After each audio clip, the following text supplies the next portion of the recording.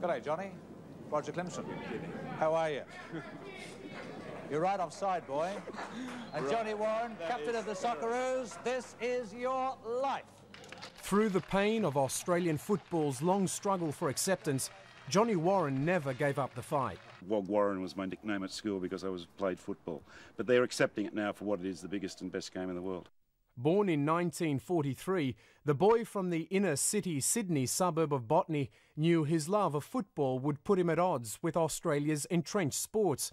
But his passion for the world game always rose above those petty disputes, making a mark both at home and abroad.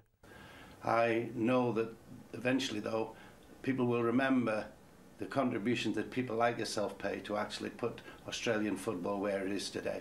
Johnny played top grade club football with Canterbury at the tender age of 16 before joining his beloved St George, where he spent 12 highly successful seasons. He's beating up a speed, and it's a goal for Johnny Warren. Johnny captained his country with pride and wore the green and gold on 62 occasions, scoring nine times.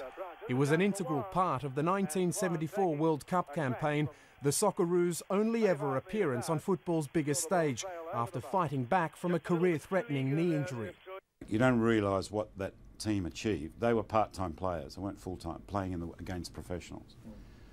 Um, players who worked. And you look back now, you go back to Iran as a commentator and you say, 130, how did our guys beat this team? How did they beat Uruguay? Rated above Uruguay in the 74 World Cup. Part-time players. and to all the all the players and of course the coaching staff, Rale and, and Les and, and, the people that are around that team. It was an, it was an amazing achievement when you look back now. After hanging up his boots in the mid 70s, Johnny moved into coaching with a brief spell at St George and then Canberra City in the newly formed National Soccer League. But it was away from the pitch that Johnny made his greatest impact. Never afraid to speak his mind, he soon became the face of the Australian game his determination to see Australia succeed again on the world stage was a passion he could never hide, as a nation shared his heartbreak after that fateful night when Australia threw away a two goal lead against Iran. You just feel for them, not just the boys, they are representative of so many people who make this game their life. It's just, uh, I can't say anything. Mate. An administrator and commentator, he was an unparalleled authority on all matters football.